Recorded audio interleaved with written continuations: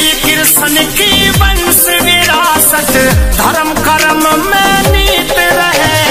गौर ब्राह्मण की सेवा बनी सनातन